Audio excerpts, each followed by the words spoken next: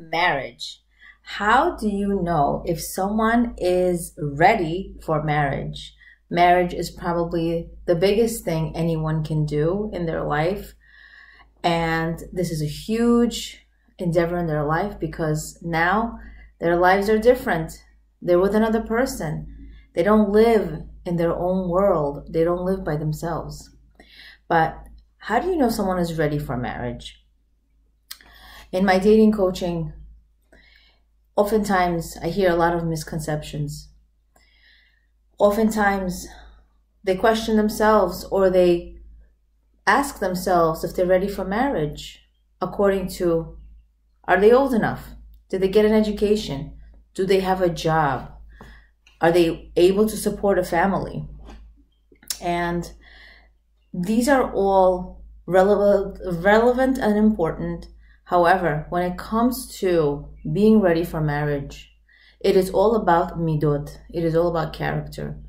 Is the person willing to extend themselves to the point that they're living almost through the prism and the eyes of another person, willing to extend themselves, willing to embrace the other person's needs, wants, preferences, and really get out of their cocoon of their own lives and try to create a marriage where it's not based on one person and a, but it is based on two. And it's really based on the other person constantly thinking about the other.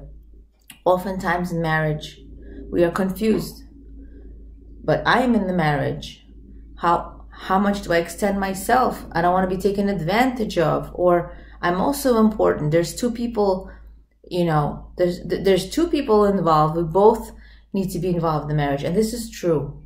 However, we learn from Parsha Mishpatim that there's an incredible insight on knowing if one is really ready for marriage. We have to understand that is that it is definitely easier to get married than it is to stay married. It is much harder to maintain the marriage because marriage is hard work. It's constant work. It's constant tailoring. It's constant weeding. It's constant taking care of that fertile soil, constantly taking care of it, making sure the atmosphere is correct, making sure we're getting the nutrients. Are we spending time together enough? Are we learning together? Are we giving to one another?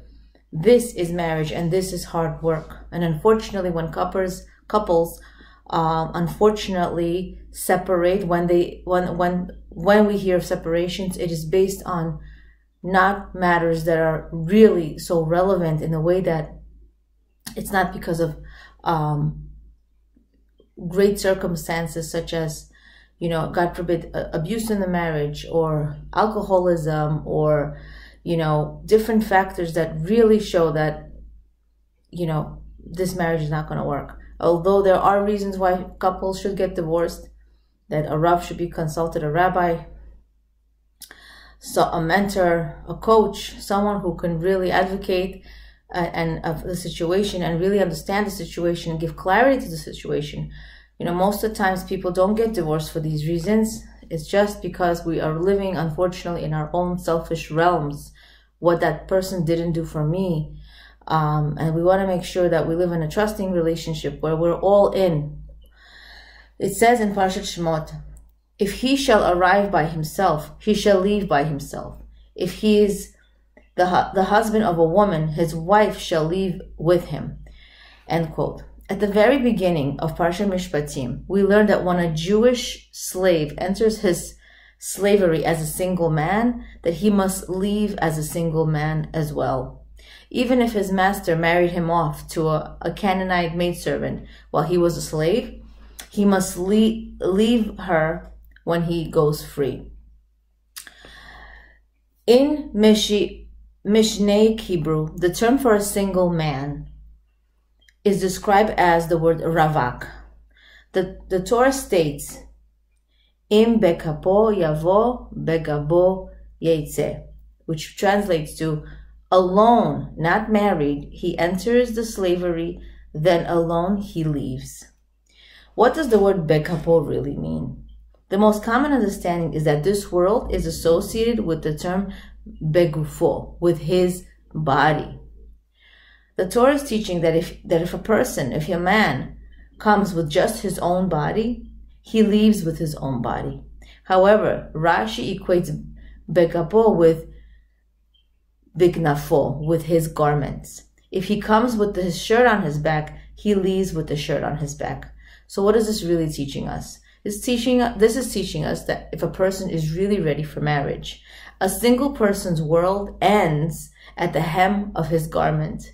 He thinks only about himself. He thinks only about his possessions. His world ends where he ends. A married person is one whose cloak extends over someone else as well. There's a custom, Jews from, from German descent are called Yekkes and Sephardim, that the Chassan, the groom, extends his prayer shawl, shawl, his talit, over himself and his bride on the day of his wedding, over his kala. And this is teaching us that at the moment of his marriage, the, chas, the the groom, demonstrates that his world is now going to extend beyond himself. His garment must now also cover someone else. My talis, he's saying, my talis used to cover only me, but now it covers my wife as well. This is perhaps the most crucial and difficult adjustment to married life. Singlehood comes with the freedom to climb into your own cocoon, to do whatever we want, and not have to think constantly about the other person. It is only through extending one's world beyond himself that a person can rise to a higher plane of existence and become complete. The only way we become complete people is through marriage. When a person gets married and now thinks in a different way, thinks through the prism of, wow, how can I satisfy the other person? How can I make sure my, my spouse is happy? How can I give to my spouse? That is being a complete person. A complete person is one who extends themselves to the other, namely their spouse. So what is the formula to know if one is ready for marriage? The answer is that if the person is willing to extend themselves and begin the journey of including someone in their own world. By including, it doesn't mean that what what I understand about the other person has to has to be understood or has to make sense. It means that strongly considering the feelings, preferences, likes, wants, dislikes, and needs of the other person. It is, it is really important that we internalize the idea of giving because when I give, I love. When I give, I love. It doesn't mean that I necessarily have to understand what I'm giving and why I'm giving it. You know, a, a wife may never understand why a husband has to, when he comes home from a day's of work, he has to lounge on the couch and relax while she can run three more shifts until she finally decides to rest. It doesn't make sense. We are wired differently. Nobody's better. We're different. We're two partners in a marriage that we can only become successful when we give it our all without keeping tabs, without keeping score. And that is a successful marriage. That is a marriage that's going to not only succeed, but it's going to be a happy marriage. There are many marriages out there. And just because a person is married doesn't mean they're happily married. And it doesn't mean that it's a complete marriage. We are married anyway. We are in the marriage anyway. Why not give it our all? And those of us listening who are not married, look for the right reason to get married. You want to get married?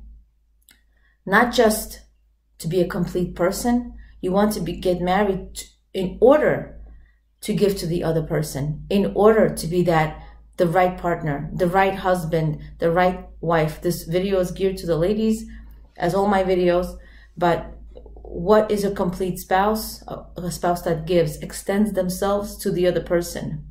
I always talk about in my coaching classes, in my cl- in my lectures, the way you know if that person is the right one for you is try to access ways or, or experience how they, their character is. How do they act? How does the person act before we get married? Try to, you know, try to see them different types of day, different types of times throughout the day. You know, one day it could be in the afternoon, one day it could be in the evening, and doing different activities together, seeing their reactions to different things. And this is one of the tips that we know. How is the person going to react to me or to this experience or to this circumstance?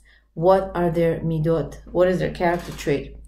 Marriage is not a relationship of equals. Marriage is successful when each spouse is focusing on how much they can contribute emotionally, physically, spiritually, in order to enhance the marriage to a successful one the best way that they can.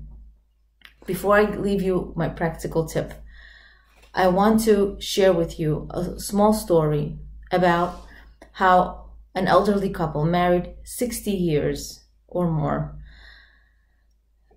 you know they were they were having a celebration and they were asked, how was it you were able to have shalom bayit, peace in your home, and married for so long? And they seemed like a very happily married couple.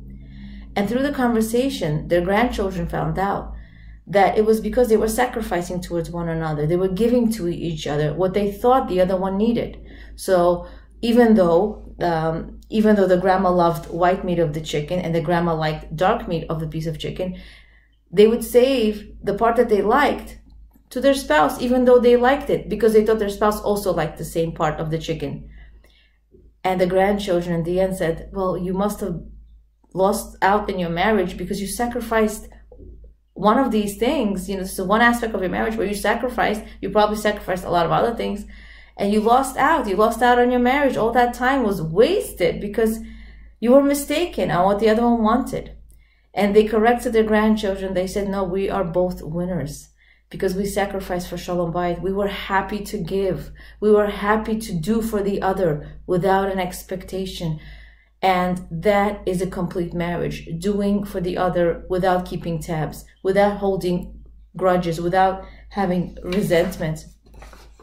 I'm going to leave you with a practical tip to, to affirm to yourself. May we affirm to ourselves successfully as much as we can I will stretch myself as much as I can to give all my efforts into my marriage without keeping score. Remember, marriage is not a business relationship. It's not I come home, you leave, you come home, I leave. That's living in a hotel. That's living in a business relationship. We want to live in a marriage where we are creating it in our home, not in a hotel, where we give without expectation, love giving, and remember, not to have it make sense to us. We just need to give unconditionally, love each other. And in this way, we will live in a complete marriage. And in this way, we know we are married to the right people. Appreciating the insights of Rabbi Frand on the Parsha in his book, Rabbi Frand on the Parsha 3. Leah Abramov, Being and Becoming, Awakening Awareness of Your Greatness and Potential.